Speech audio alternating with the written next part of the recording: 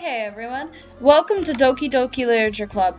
Um, so I have seen people play this game before. Unfortunately, I have never played this game. I have not seen anyone play this since this first came out almost three years ago.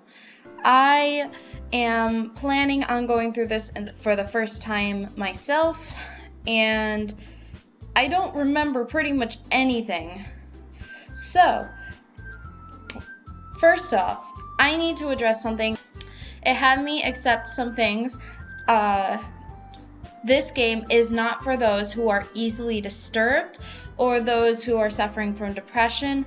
Uh, this may cause some trigger warnings, so if you are suffering from those conditions and or and or cannot handle any type of uh, gory or heavy topics, then I suggest to leave this video now. So, without further ado, this is Doki Doki Literature Club, my first playthrough. And I shall enter my name as Gross Kitty. I am the Gross Kitty, so I shall be Gross Kitty. Hey! I see an annoying girl run toward me from the distance, waving her arms in the air like she totally she's totally oblivious to any attention she might draw to herself. That girl is Sayori.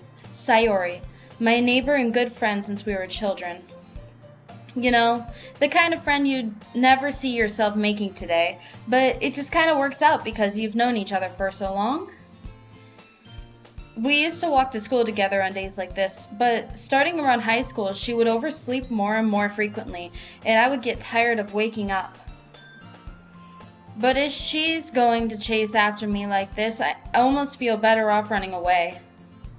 However, I just sigh and idle in front of the crosswalk and let Sayori catch up to me. Sayori. I overslept again. But I caught you this time.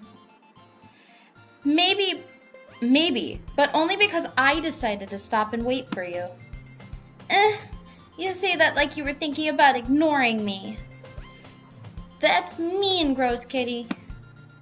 Well, if people stare at you for acting weird, then I don't want them to think we're a couple or something.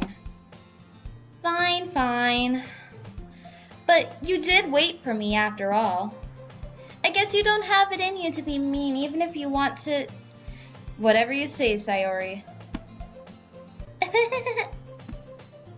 we cross the street together and make our way to the school. As we draw near, the streets become increasingly speckled with other students making their daily commute. By the way, Gross Kitty, have you decided on a club to join yet? A club? Told you already, I'm not interested in joining any clubs. I haven't been looking either. Eh, that's not true. You told me you would join a club this year. Did I? I'm sure it's possible that I did in one of our many conversations where I dismissively go along with whatever she's going on about.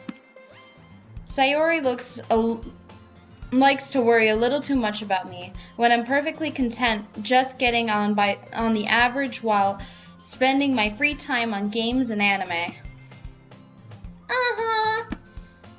I was talking about how I'm worried that you won't learn how to socialize or have any skills before college. Your happiness is really important to me, you know. And I know you're happy now, but I die at the thought of you becoming a neat and neat in a world in a few years because you're not used to it, the real world. You trust me, right? Don't make me keep worrying about you. Alright, alright. I'll look at a few clubs if it makes you happy. No promises, though. Will you at least promise me you'll try a little? Yeah, I guess I'll promise you that. Yay! Why do I let myself get lectured by such a carefree girl? More than that, I'm surprised I even let myself relent to her. I guess seeing her worry so much about me makes me want to ease her mind at, a, at least a little bit, even if she does exaggerate everything inside her, of her head. The school day is an, as ordinary as ever, and it's over, over before I know it. After I pack up my things, I stare blankly at the wall, looking for an ounce of motivation. Clubs. Sayori wants me to check out some clubs. I guess I have no choice but to start with the anime club. Hello? Sayori? Sayori. Sayori must have come into the classroom while I was spacing out. I look around and realize that I'm the only one left in the classroom. I thought I'd catch you out of the classroom, but I saw you just sitting here and spacing out, so I came in. Honestly, you're even worse than me sometimes. I'm impressed. You don't need to wait up for me if it's going to make you late to your own club. Well, I thought you might need some encouragement, so I thought, you know... Know what? Well, that you could come to my club. Sayori. Yeah? There is no way I'm going to your club. Eh, meanie. Sayori is vice president of the literature club. I would join the literature club. Not that I was ever aware that she had any interest in literature. In fact, I'm 99% sure she only did it because she thought it would be fun to help start a new club. Since she was the first one to show interest after the only after the one who proposed the club, she inherited the title Vice President. That said, my interest in literature is guaranteed to be even less. That's not true about me. Yeah, I'm going to the anime club. Mom, please. Why do you care so much anyway? Well, I kinda told the club yesterday I would bring a new member. And Natsuki made cupcakes and everything. Don't make promises you can't keep. I can't tell if Sayori is really that much of an airhead or if she she's so cunning as to have planned all of this out. If I remember correctly, Natsuki is the, uh, or is it Natsuki? Uh, she's the tsundere? I let out a long sigh. Fine. I'll stop by for a cupcake, okay? I don't eat cupcakes. Yes, let's go! And thus, today marks the day I sold my soul for a cupcake. I dejectedly followed Sayori across the school and upstairs, a section of the school I rarely visit, being gen generally used for third year classmates, uh, classes and activities. I can't read. Sayori, full of energy, swings open the classroom door. Everyone, the new member is here. I told you, don't call me a new member. Eh. I glance around the room. Welcome to the Literature Club. It's a pleasure meeting you. Say Sayori always says nice things about you. Seriously? You brought a boy?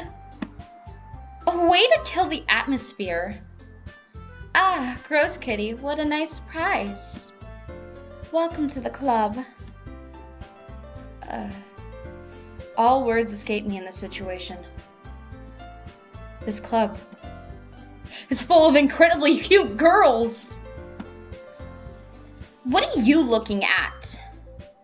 If you want to say something, say it. Sorry. Natsuki. Hmm. The girl with the sour attitude, whose name is apparently Natsuki, is the one is one I don't recognize. Her small figure makes me think she's probably a first year. She is also the only uh, also the one who made cupcakes according to Sayori. You can just ignore her when she gets moody. Sayori says that quietly into my ear, then turns back towards the other girls. Anyway, this is Natsuki, always full of energy. And this is Yuri, the smart smartest in the club. Don't say things like that. Yuri, who appears comparably more mature and timid, seems to have a hard time keeping up with people like Sayori and Natsuki. Uh, well, it's nice to meet both of you. And it sounds like you already know Monika, is that right? That's right. It's great to see you again, Gross Kitty. Hello. Monika smiles sweetly. Ugh. We don't know each other. Well, we rarely talked, but we were in the same classroom as this class as the la, class last year. You're very talented with your skirt just staying up like that. Just saying. Monika was probably the most popular girl in class. Smart, beautiful, athletic. Basically, completely out of my league. Yeah. So having her smile at me genuinely feels a little. You too, Monika. Come sit down, Ghost Kitty. We made room for you at the table so you can sit next to me and or Monika. I'll get the cupcakes. Hey, I made them. I'll get them. Sorry, I got a little too excited. Then how about I make some tea as well? The girls have a few desks arranged to form a table. As Sayori mentioned, it's been widened so that there is one space next to Monika and one spa space next to Sayori. Natsuki and Yuri walk over to the corner of the room where Natsuki grabs a wrapped tray and Yuri opens the closet. Still feeling awkward, I take a seat next to Sayori. Natsuki proudly marches back to the table, tray in hand. Okay, are you ready? Ta-da! Whoa! Natsuki lifts the foil off the tray to reveal a dozen white, fluffy cupcakes decorated to look like cats. Aww, kitties! I have kitties. The whiskers are drawn with icing, and little pieces of chocolate were used to make the ears. Oh, cute. So cute! I had no idea you were so good at baking, Natsuki. well, you know. Just hurry up and take one. Sayori grabs one first, then Monika. I follow. It's delicious! Sayori talks with her mouth full. Oh, sorry. Oof, oof, oof. Sayori talks with her mouth full and has already managed to get icing on her face. I turn the cupcake around in my fingers, looking for the best angle to take a bite. Have you ever, like, examined a cupcake to take a bite? Just take a bite. Natsuki is quiet. I can't help but notice she her sneaking glances in my direction. Sh is she waiting for me to take a bite? I finally bite down. The icing is sweet and full of flavor. I wonder if she made it herself. This is really good. Thank, thank you, Natsuki. Why are you thanking me? It's not like I... Haven't I heard this somewhere before? Made them for you or anything. Eh? I thought you technically did. Sayori said, well, maybe. But not for you. No. You! Dummy. Alright, alright. I give up on Natsuki's weird logic and dismiss the conversation. Yuri returns to the table carrying a tea set. She carefully places a teacup in front of each of us before setting down the teapot next to the cup tray. You, you keep a whole tea set in this classroom? Don't worry, the teachers gave us permission. After all, doesn't a hot cup of tea help you enjoy a good book? Uh, I, I guess. Don't let yourself get intimidated. Yuri's just trying to impress you. Uh, that's not... Insulted, Yuri looks away. Aw. I meant that, you know. Yuri's probably my favorite right now. I believe you. Well, tea and reading might not be a pastime for me, but I at least enjoy tea. I'm glad. Yuri faintly smiles to herself in relief. Monika raises an eyebrow, then smiles at me. So, what made you consider joining the literature club? Um, I was afraid of this question. Something tells me I shouldn't tell Monika that I was practically dragged here by Sayori. Well, I haven't joined any clubs yet, and Sayori seemed really happy here, so that's okay. Don't be embarrassed. Well, we'll make sure you feel right at home, okay? As president of the literature club, it's my duty to make the club fun and exciting for everyone. Monika, I'm surprised. How come you decided to start your own club? You could probably be a board member for any of the major clubs. Weren't you a leader of the debate club last year? Uh, well, you know. To be honest, I can't stand all the politics around the major clubs. It feels like nothing but arguing about the budget and publicity and how to prepare for events. I'd much rather take something I pers- personally enjoy to make something special out of it. And if it encourages others to get into literature, then I'm fulfilling that dream. Monika really is a great leader. Yuri also nods in agreement. Then I'm surprised there aren't more people in the club yet. It must be hard to start a new club. You could put you could put it that way. Not many people are very interested in putting out all the effort starting something brand new, especially when it's something that doesn't grab your attention like literature. You have to work hard to convince people that you're both fun and worthwhile. But it makes school events like the festival that much more important. I'm confident that we can all really grow this club before we graduate. Right, everyone? Yeah! We'll do our best. You know it. Everyone enthusiastically agrees. Such different girls, all interested in the same goal. Monika must have worked really hard to find these three.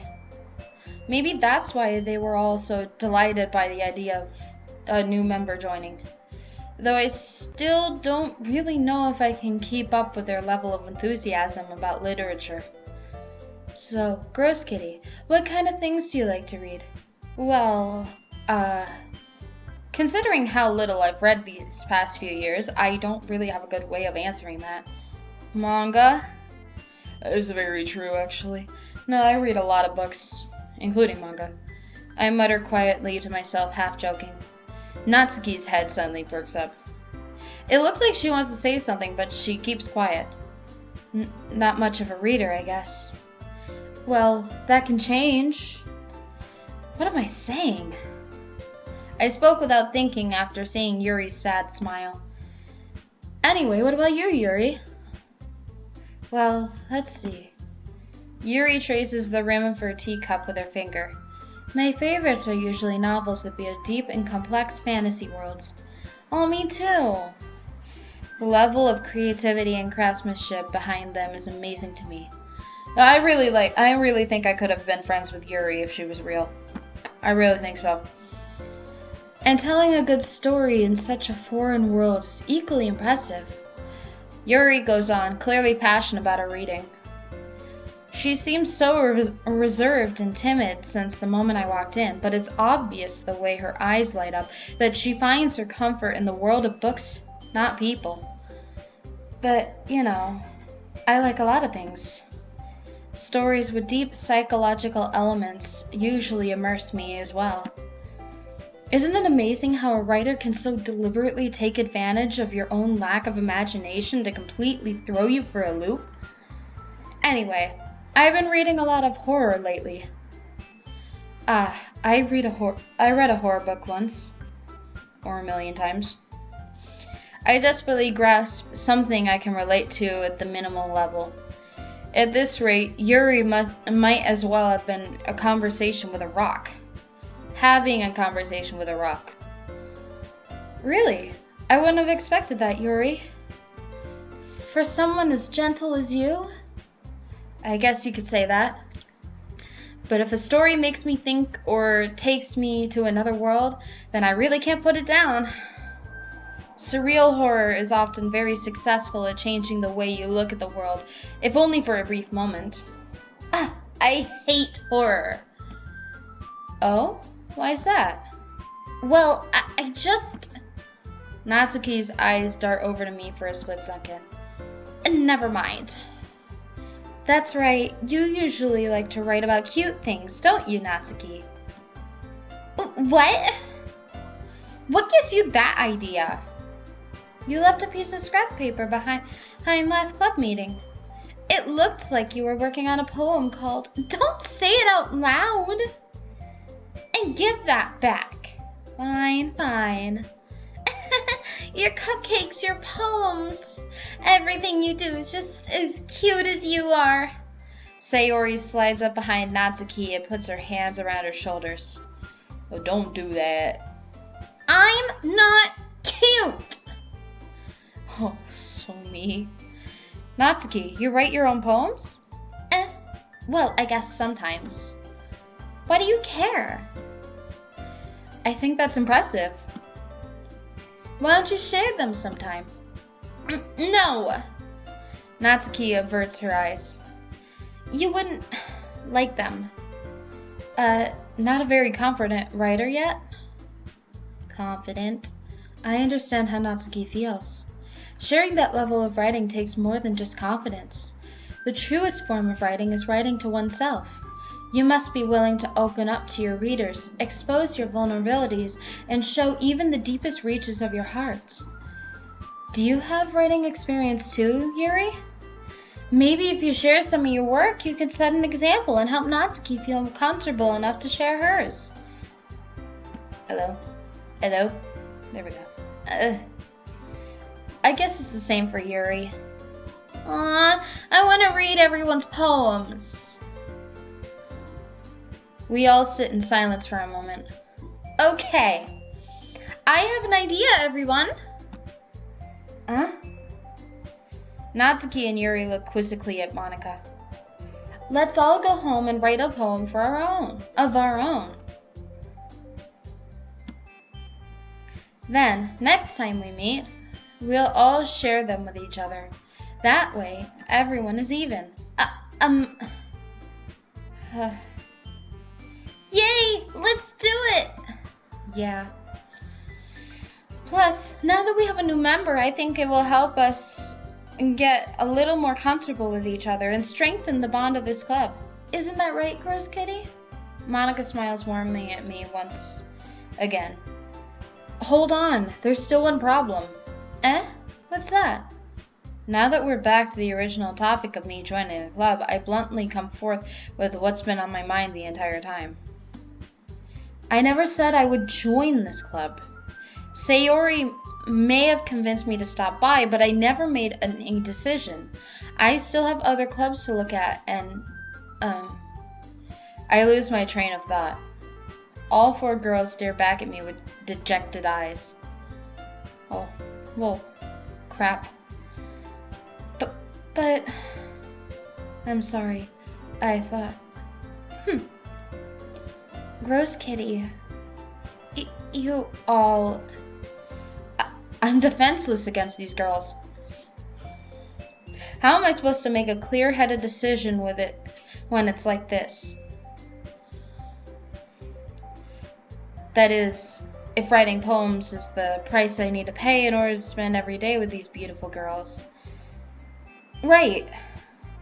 Okay, I've decided then. Actually, I'm terrible at writing poems. I love literature, but I'm terrible at writing poems. I'll join the literature club. One by one, the girl's eyes light up. Yes, I'm so happy! Sayori wraps her arms around me, jumping up and down. Hey! You really did scare me for a moment. If you really just came for the cupcakes, I would be super. I'm not saying that then that makes it official. Welcome to the Literature Club. Uh, thanks, I guess. Okay, everyone. I think with that, we can officially end today's meeting on a good note. Everyone remember tonight's assignment. Write a poem to bring in the next meeting so we can all share. Monika looks over at me once more.